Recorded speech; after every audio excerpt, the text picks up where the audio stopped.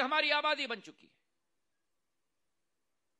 लेकिन चीन एक एजिंग कंट्री है, एजिंग पॉपुलेशन है वृद्ध अवस्था की तरफ़ जा रही है।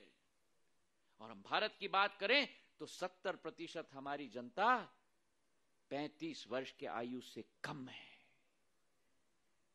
आज पूरे विश्व में वो खजाना मानव संसाधन की पूंजी की अगर किसी भी देश के पास है तो वो भारत के पास है। सत्तर प्रतिशत जनता मतलब नब्बे करोड़ आबादी। नब्बे करोड़ आबादी मतलब यूनाइटेड स्टेट्स ऑफ़ अमेरिका की तीन गुना आबादी। नब्बे करोड़ मतलब संयुक्त यूरोप की डेढ़ गुना आबादी। ये खजाना मेरे भारत के पास है आपके रूप में।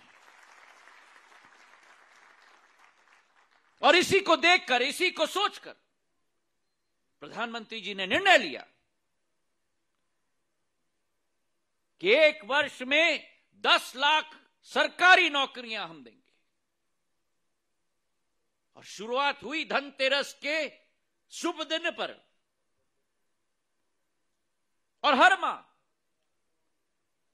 पचहत्तर हज़ार नौकरी के अवसर, सत्तर हज़ार, इकहत्तर हज़ार, इस माह सत्तर हज़ार।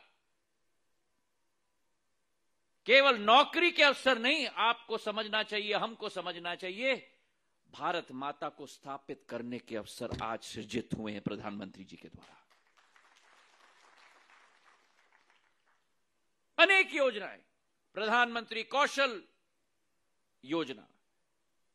स्टैंड अप इंडिया योजना, जहाँ एक करोड़ तीस लाख लोगों को राशि दी गई अपनी शुरुआत करने के लिए। उसी के साथ भारत सरकार के स्टैंड अप इंडिया की योजना स्किल इंडिया की योजना। और अभी अभी मन की बात की सौवीं एपिसोड में प्रधानमंत्री जी ने स्वयं संदर्भ दिया, आदरणीय विजय शांति जी का। उत्तर पूर्वी राज्य में रहती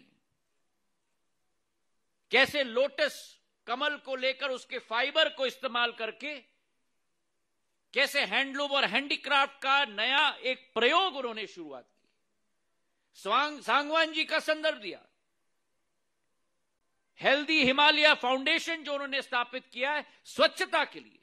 तो नए प्रयोग, नई सोच, नई विचारधारा, ये क्षमता किसी और के पास नहीं है, ये क्षमता केवल मेरे युवा पीढ़ी के पास है। तो आज जो नियुक्ति पत्र आपको दी जा रही है नए जीवन की शुरुआत है। पर केवल दो बातें कहकर मैं अपनी बात को समाप्त करूँगा। पहली बात, सदैव ये सोचते रहना आप कि क्या नया प्रयोग मैं कर सकता हूँ अपने जीवन में?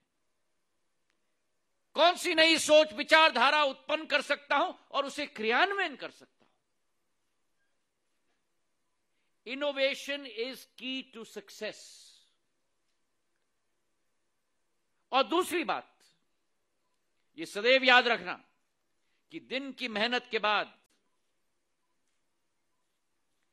जब हम बिस्तर में सोने जाते हैं, ये सदैव याद रखना जो अंग्रेज़ी में कहावत है कि द सॉफ्टेस्ट पिलो सबसे नरम तकिया, सिर के नीचे softest pillow is a clear conscience अपनी आत्मा को सदैव साफ़ रखना। इन्हीं शब्दों के साथ आपको बहुत बहुत बधाई बहुत बहुत धन्यवाद।